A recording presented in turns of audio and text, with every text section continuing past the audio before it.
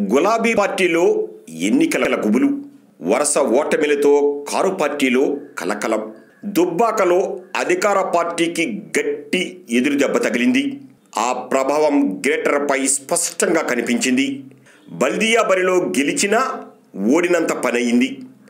అధికారికంగా మేయర్ పట్టం దక్కిన నలభై ఏడు మంది కార్పొరేటర్లతో బీజేపీదే అసలైన బలం. ఎంఐఎం సపోర్టుతో గ్రేటర్పై గులాబీ జెండా ఎగరవేసిన హమ్మయాని ఊపిరి పీల్చుకోవటానికి లేకుండా పోయింది. అధికార పార్టీని నాగార్జున సాగర్ బైపోల్స్ టెన్షన్ గురిచేస్తుంటే ఆ ఎన్నిక కంటే ముందే వస్తున్న ఎమ్మెల్సీ ఎలక్షన్ మరింత కలవరపాటు కలిగిస్తోంది. రంగారెడ్డి హైదరాబాద్ మహబూబ్ నగర్ పట్టభద్రుల నియోజకవర్గంతో పాటు వరంగల్ ఖమ్మం నల్గొండ స్థానాలకు ఎమ్మెల్సీ నగారా మోగింది.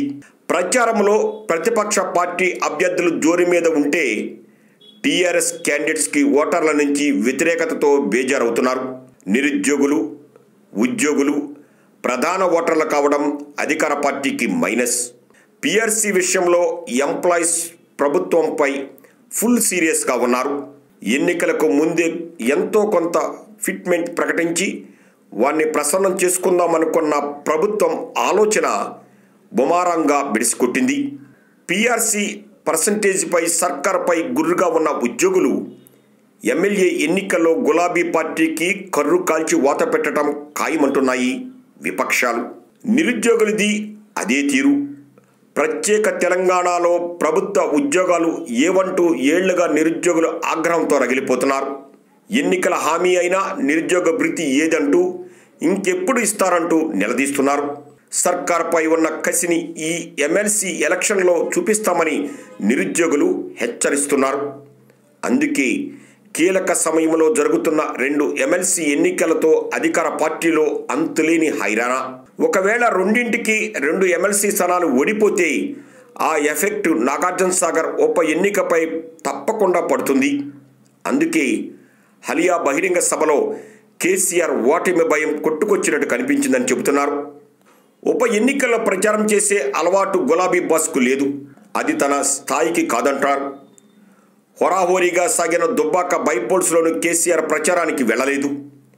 అలాంటిది ఇంకా నోటిఫికేషన్ రాలేదు. అభ్యర్థులు ఎవరో తెలలేదు. అంతలోనే నాగార్జున సాగర్ నియోజకవర్గంలో సభ పెట్టడం కేసీఆర్లో అభద్రతాభావానికి నిదర్శనమంటున్నారు. దుబ్బాక గ్రేటర్ హైదరాబాద్లో పరువు పోయినా నాగార్జున సాగర్ ఉప ఎన్నికల్లో తప్పనిసరిగా గెలవలసిన పరిస్థితి టీఆర్ఎస్ది. అయితే ప్రస్తుత పరిస్థితుల్లో గులాబీ పార్టీకి గెలుపు అంత సులువేమీ కాదు. బలమైన నాయకుడు జానారెడ్డిని ఢీకొట్టడం కష్టమే. దుబ్బాక జోష్లో బీజేపీ సైతం సాగర్లో సత్తా చాటేందుకు సైసై అంటుంది. దుబ్బాక గ్రేటర్ ఎలక్షన్ తర్వాత తెలంగాణలో రాజకీయ పరిణామాలు వేగంగా మారుతున్నాయి. బీజేపీకి బండి యమ వేగంగా దూసుకుపోతుంది. అటు రేవంత్ రెడ్డి సైతం పాదయాత్రతో దుమ్ము రేపుతున్నారు.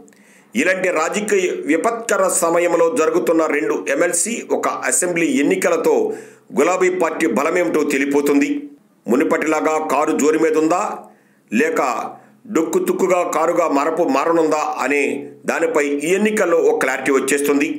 అందుకే కేసీఆర్ ఈ ఎలక్షన్ను ఛాలెంజ్గా తీసుకున్నారు. గతానికి భిన్నంగా ఉప ఎన్నికల ప్రచారంలోనూ ప్రతిపక్షాలను ఉతికి ఆరేస్తున్నారు. ఇదంతా ఆయనలోని అసహనమేనని ఓటమి భయమేనని అంటున్నాయి విపక్షాలు. ముందు ముందు అధికార పార్టీకి ముసళ్ళ పండుగే అంటున్నారు.